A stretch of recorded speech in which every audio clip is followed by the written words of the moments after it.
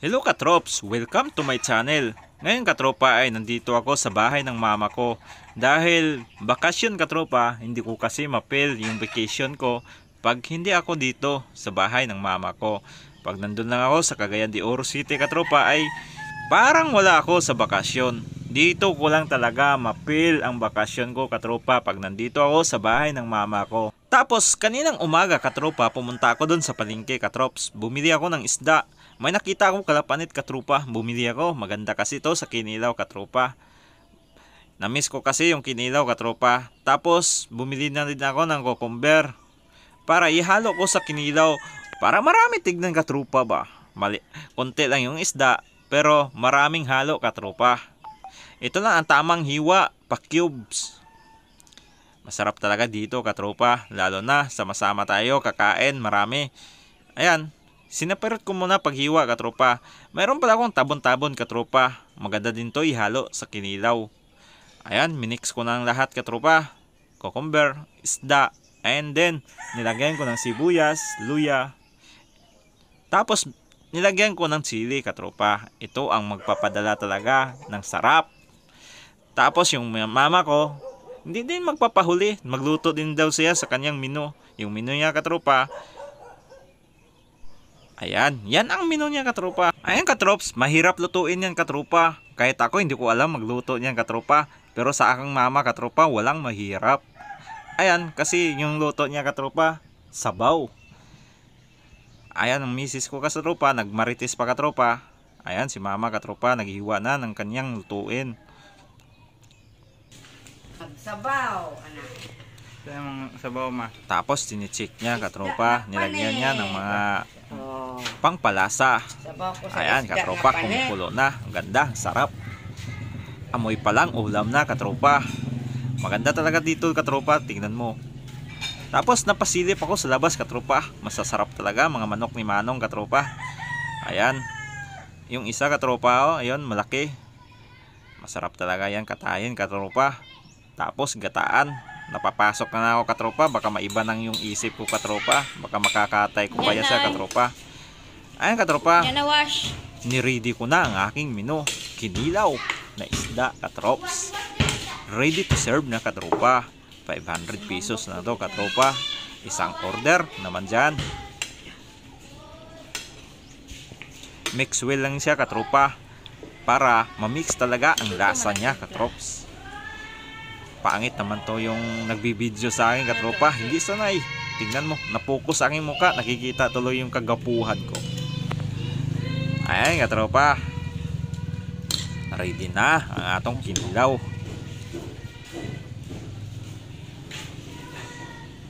This is the finished product.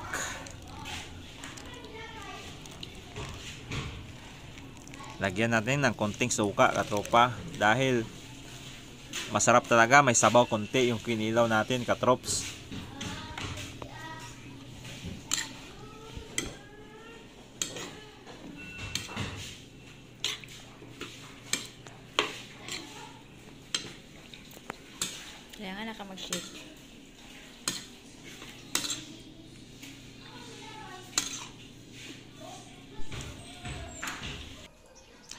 Ayan katropa, luto na din ang luto ni mama. Best talaga magluto si mama. Alagang alaga talaga kami katropa. Pag uuwi ako katropa, siya talaga magluto niyan katropa. Ganyan ako kalab sa mama ko katropa. Ingit kayo no dahil wala kayong mama no.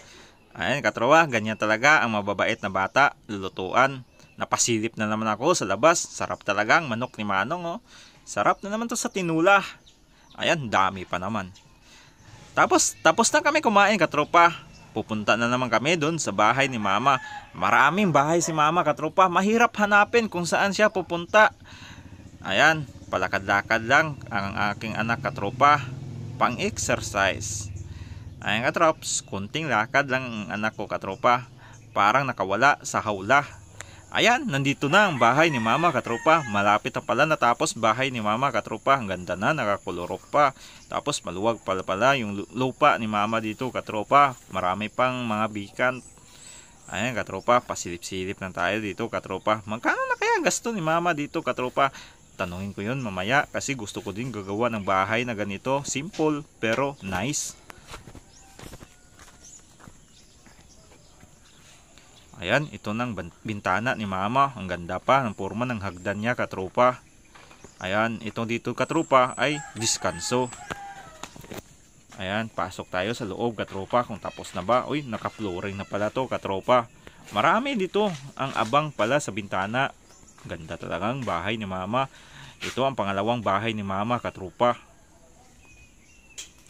Ayan, yan ang kwarto dyan katropa. Tapos silip dyan sa labas. Ayan. Uy, nakaabang na pala ang aircon ni mama. Social naman to si mama. Magpa-aircon pala. Ayan. Ayan ang anak ko katropa. Nahuli sila pagdating. Paano? Mm, bagal-bagal lumakad. Ayan. Ito ang labas niya katropa. Sa diskanso. Ayan. Ayan ang anak ko katropa.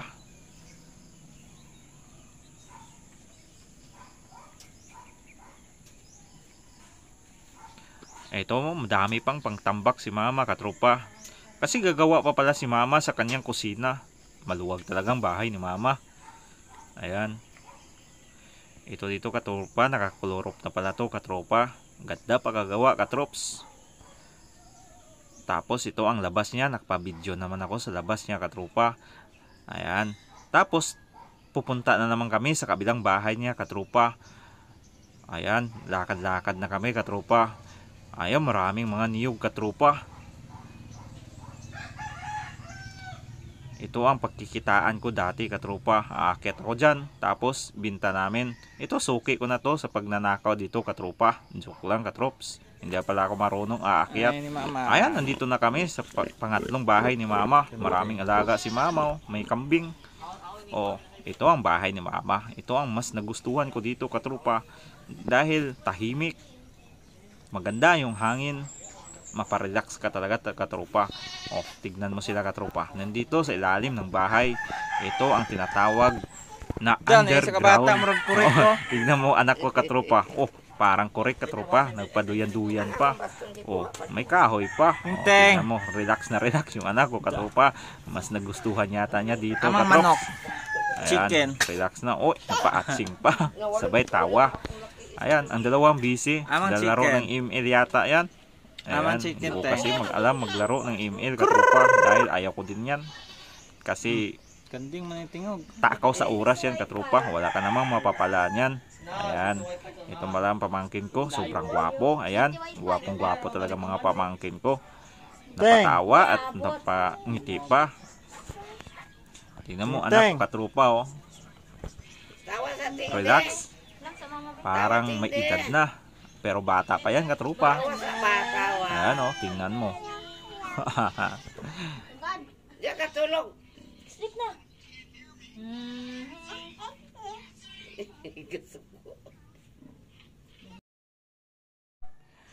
Tapos katrupa, bigla na naman ako nagutom kaya inutusan ko tong pamangkin ko na hulihin yung pato. Sa Tagalog pala nito katrupa, chicken. Ayan, hinuli na niya katrupa. Malaki na pala tong chicken ni mama.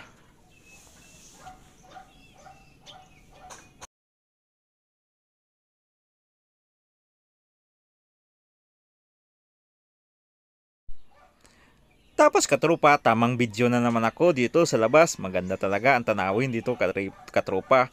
Dito na pala ako lumaki katrupa. Hanggang sa nagtanda ako katrupa. Dito kami tumatanda katrupa.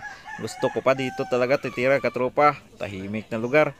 Ayan, ang pagkatay pala dito katrupa ay hindi mo pwedeng katayan lang sa liig dahil matagal to mamatay katrupa. Ang pagkatay nito katrupa ay parang baboy. Tusukin mo dyan sa heart niya katrupa. Heartbeat ba heartbeat? Hindi kito ba?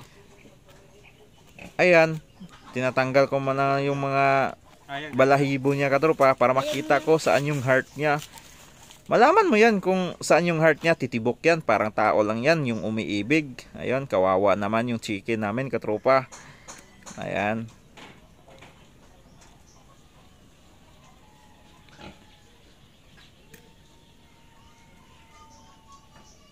Ayan, nakita ko na yung heart niya katrupa.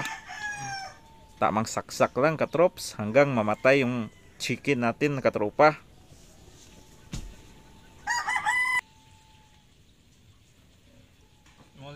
ko? Hmm.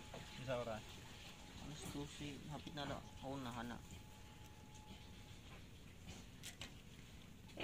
Doon tagag isda dyan. Para sa bata. Na. Kuha ka dito ka. Karon? Motor ka. Wala,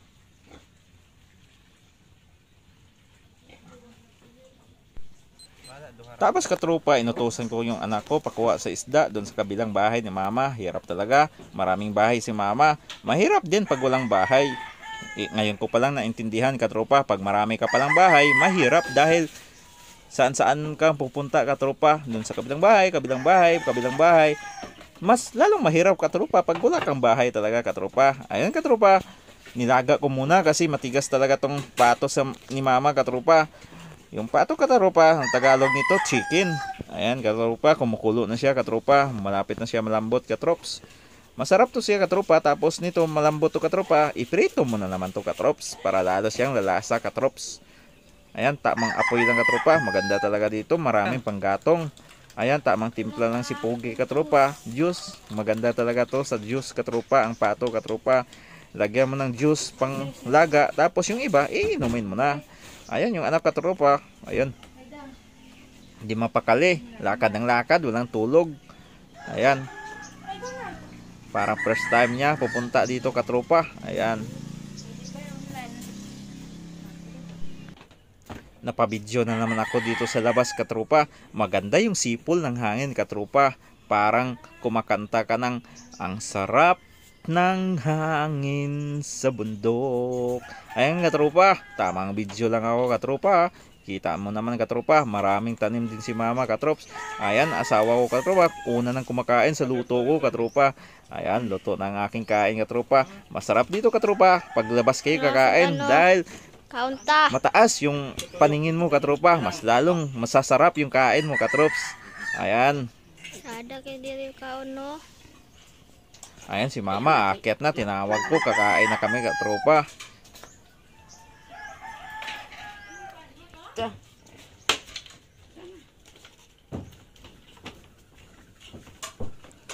Tamang papugi lang sa kamera katropa kahit hindi tayo pugi katropa. At least nagpapugi. Mahirap talaga din katropa. Magpapiling pugi tayo katrops.